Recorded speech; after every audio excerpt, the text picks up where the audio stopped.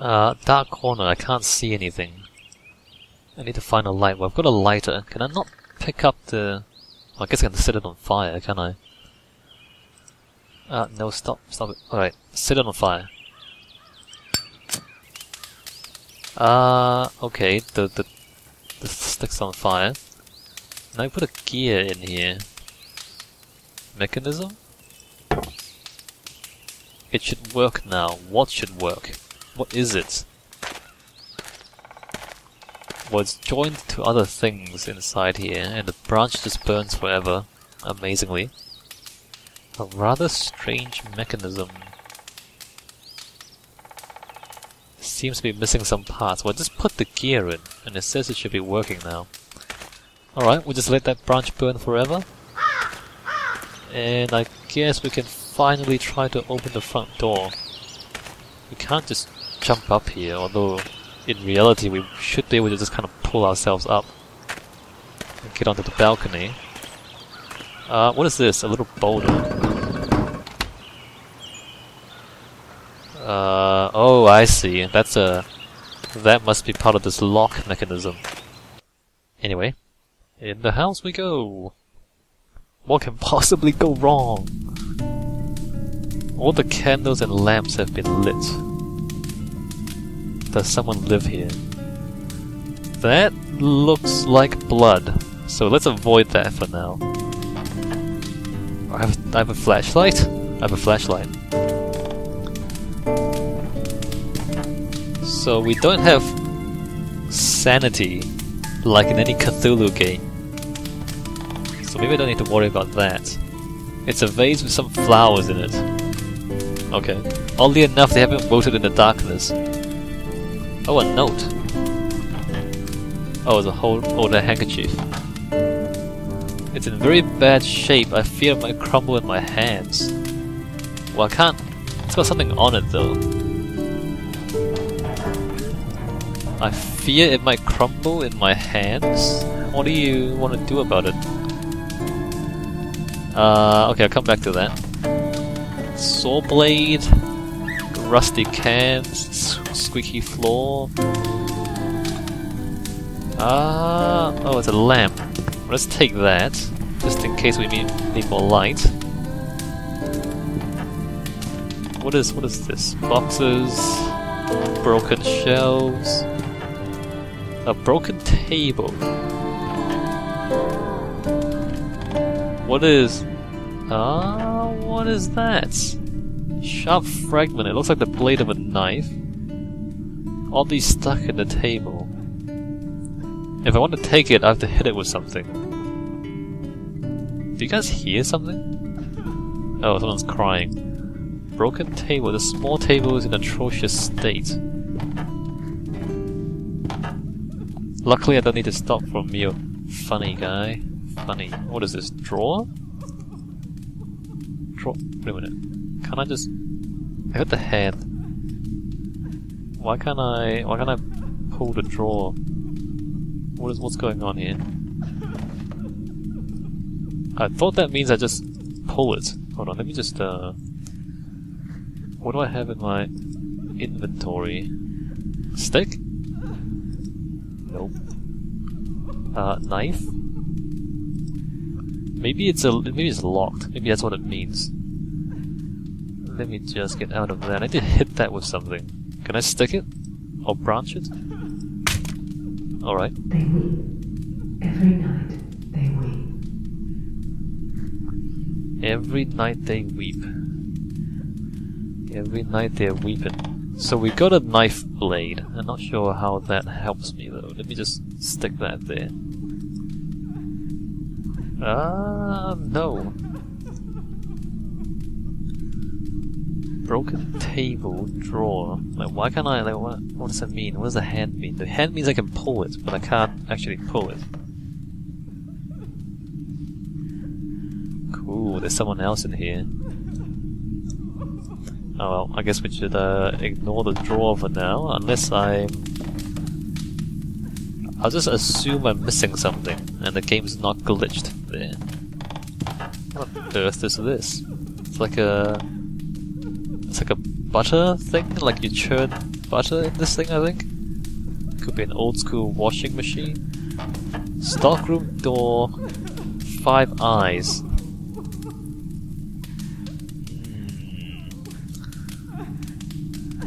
I don't know if we should brace for a jump scare or not. I think we probably should brace for a jump scare if we go into there. The door there.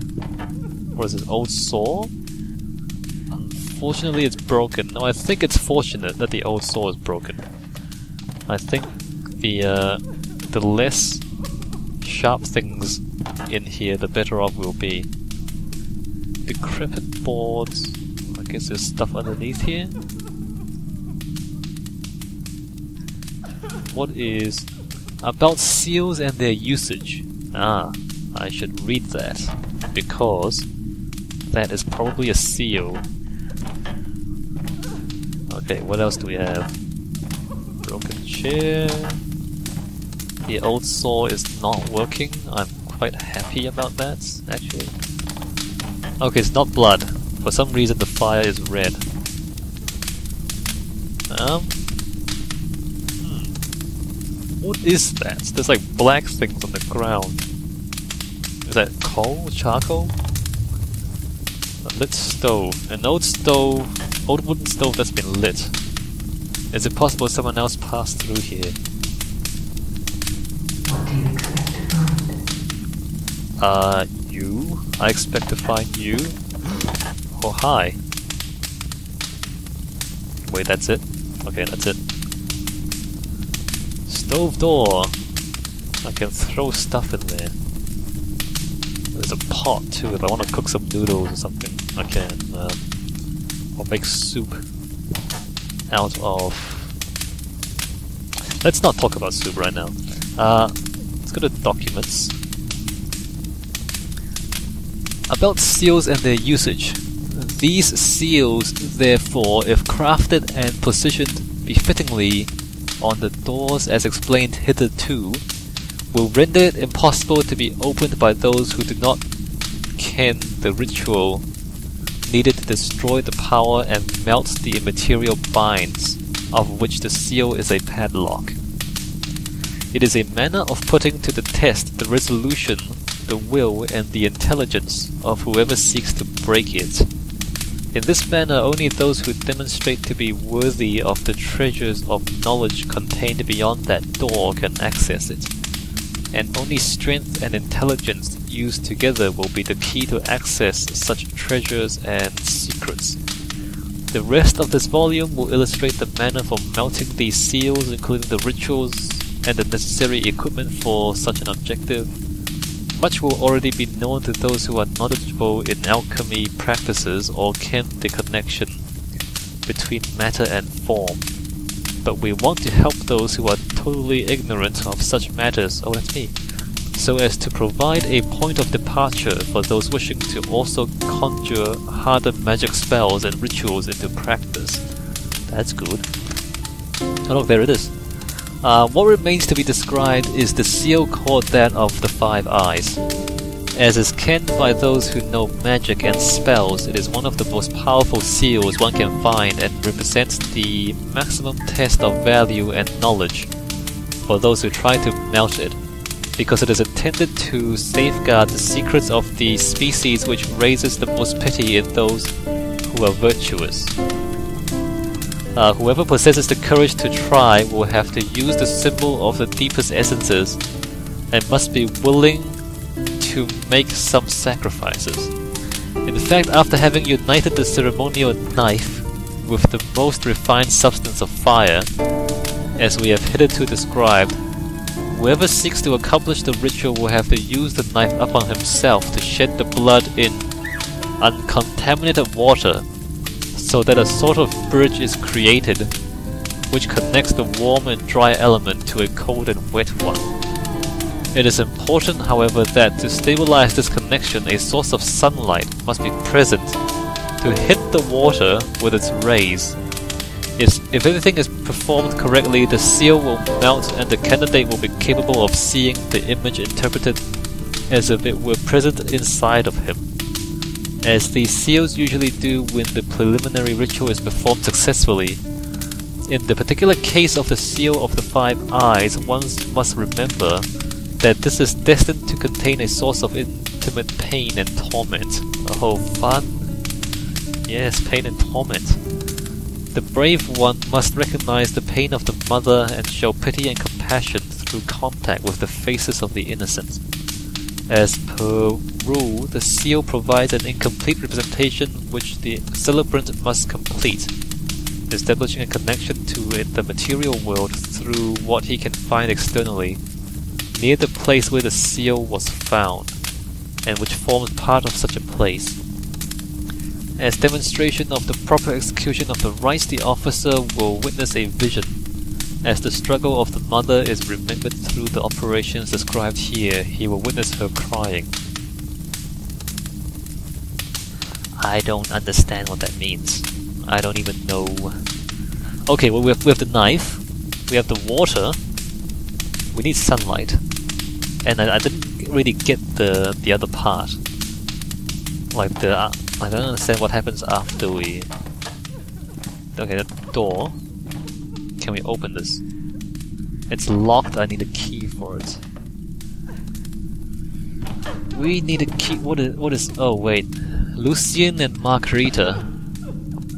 Okay, there's a lot of reading in this game, apparently.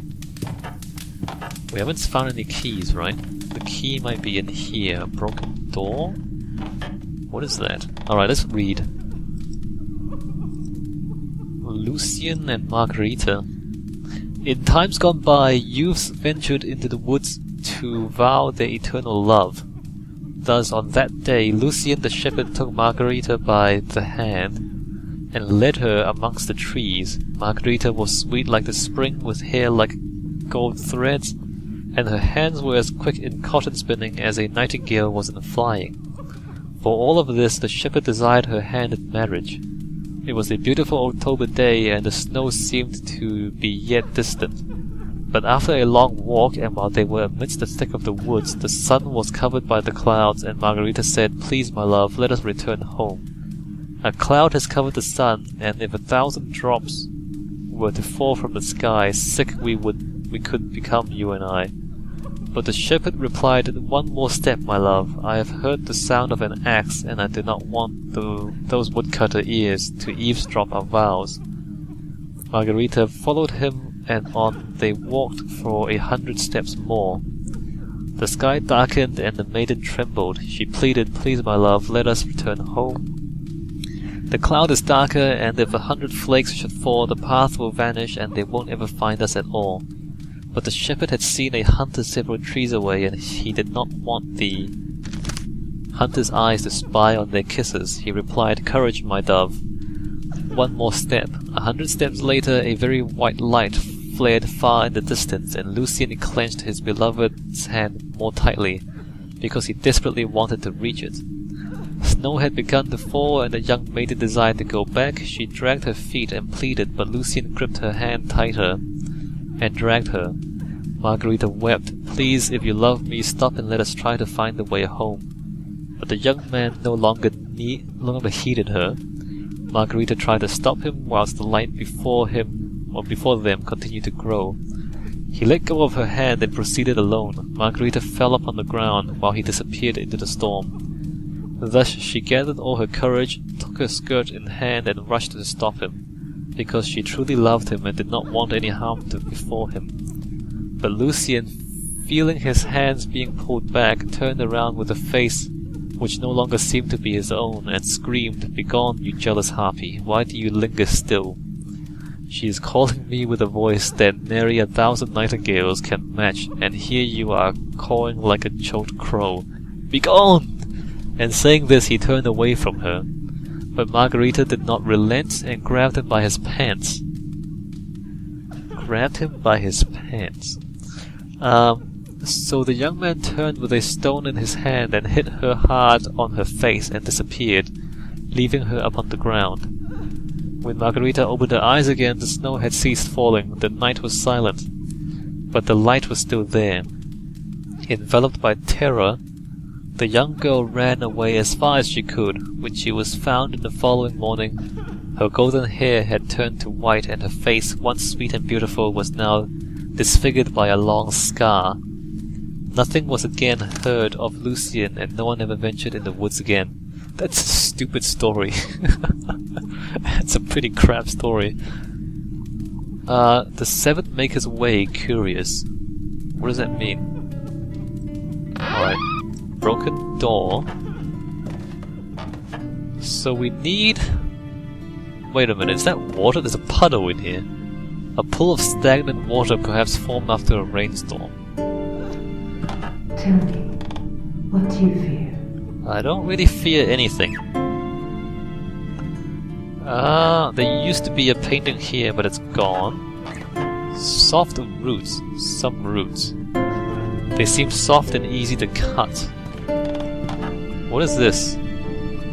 Wheel? Chain? Chain is linked to some mechanism. No idea what that means. Uh, there's a puddle and... What is... Hmm. What is this though? A slot in the wall, an ordinary rectangular notch. In the center lies a tiny slot filtering a weak ray of light. Oh, wait. Put the blood in the puddle? What is that? Is that what I'm, what I'm supposed to do?